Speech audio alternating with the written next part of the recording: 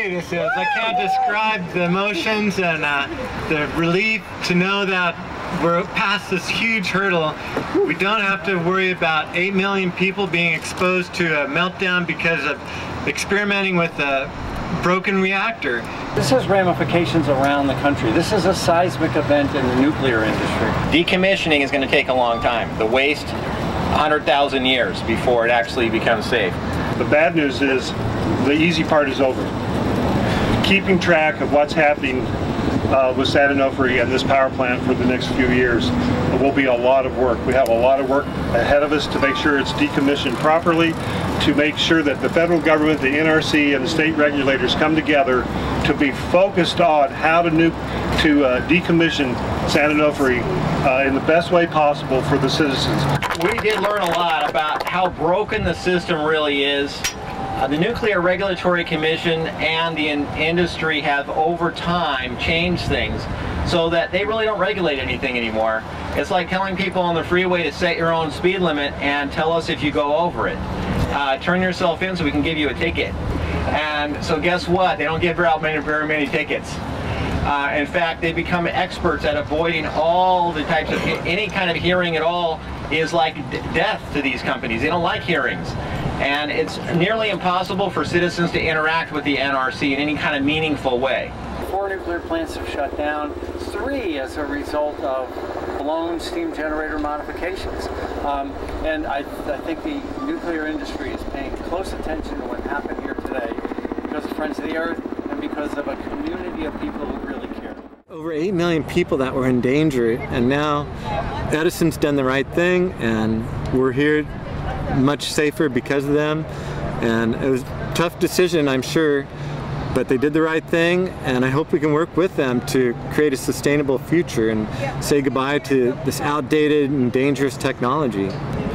I think the way this shaped up so beautifully was all the right parts came together at the right time and that's been the experience I've had with the right people, whether they're legal or scientists or just connected with PR and just heartfelt mothers and fathers that worry about their children. Everyone did the right thing at the right time because it was the right thing to do. And here we are today because of all these different entities coming together. And it was no nothing one particular person or group did. It was the culmination of people coming together and this is something to rejoice for, not just people that are concerned about nuclear power, but we're concerned about the intense problems throughout the world, whether it's global warming or food production, all these things where people feel powerless. This is an example for them to feel re rejoiced. You know, people can do this when they come together. and this is just the beginning of a big change, I think, and I think it's just in time. My advice to other activists is uh, don't give up, obviously, and create those bonds that are lasting friendships. Uh, what basically our power comes from love, I think, concern for our fellow citizens and the different issues that other people have. I'm sure has the same foundation of caring for the earth and each other. And that's really powerful. That's what brings people together and keeps them together. And you need that because there's a lot of things trying to pull you apart. And uh, fortunately, we're here all together, and I hope we're a good example to other people in our situation. Now we have some things ahead of us that we've got to do, really four things. We need to make sure that they decommission it properly. We need to make sure that the ratepayers are respected and that we're not saddled with all of the cost. We need to make sure that the, the workers are respected and that they're not just thrown out onto the street. The Edison should actually retrain and find them other jobs. And I think from, uh, you know, if you're shutting a plant down for safety considerations, there should be no consideration about, you know, we, we could be losing our, our jobs, this type of thing. And and then we also need to to look at uh, the the changing the system that we have here, you know, so that it doesn't. We don't see this type of thing. We don't. We really need to move toward all renewables like Germany has, and away from nuclear power. This this. Uh, for the convenience, a little bit of convenience that we might experience today, we're putting on the backs the waste problem for what is basically eternity as far as we're concerned. 100,000 years is what it takes plutonium to decay down to to 1 16th of its of its uh, uh, you know starting radioactivity.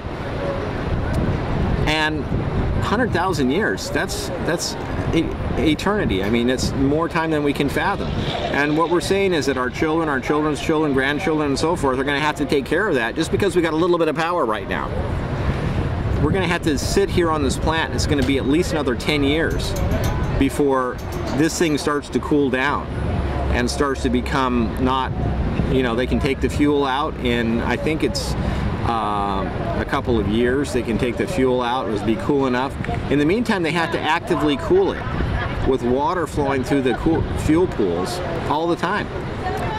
Uh, if there's an earthquake here, and now, even though they're not running the plant and the fuel pools are disrupted, we would have a meltdown in those fuel pools. This is what's happening in Fukushima where, where they're having nearly, well they already have a full-on meltdown with three of the reactors uh, but there's that fuel pool, I think it's the number four, that if it drains, we're going to have a complete catastrophe on our hands with the northern hemisphere. We'll have to move down to Australia or something to get out of the radioactivity. They estimate 250 million people will die. Uh, it's just, you know, all these things you can't, you can't really get a hold of. You can't really get a hold of 100,000 years. You can't get a hold of 250 million people dying. Um, and that we'd have to move down to the southern hemisphere. I mean, it's just too much. Uh, the fact is, is that you cannot turn these plants off. You cannot just turn a, a coal plant or uh, you know an oil plant or a gas plant. You just turn the switch, it goes off. These plants don't go off. You have to actively. They're they're taking power in through these lines into the plant now to keep the pumps running at all times. And so it costs you on their statements, they're showing a, a, a utility cost that's pretty high, like you know several million dollars a year, just to keep all the pumps running.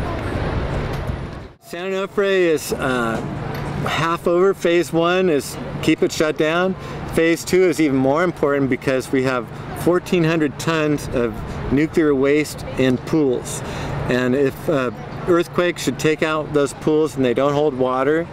When the water's gone, the rods overheat and they ignite and they can't be put out.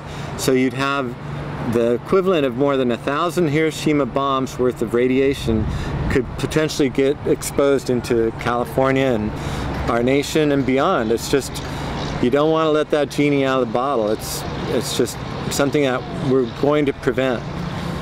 So it's not over for you? I wish it was, but uh, really it would be foolish to think it's over when all that spent fuel is just waiting for the next earthquake. We've got a serious race against time because it would probably take five years if we hurry to deal with that issue and we know we're long overdue for a big earthquake. So here we are, you know, race against time again, but we've managed to get this far and we're encouraged by our success and we're going to take it all the way. This is a movement by the people, and it's an example of how we're going to do the same thing in Diablo Canyon, and we're going to do it yeah. throughout the world. We're free California! This is just the beginning.